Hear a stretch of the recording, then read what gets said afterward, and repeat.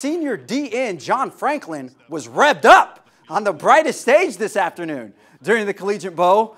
Uh, Franklin made sure that NFL scouts, general managers, and personnel directors remembered his name.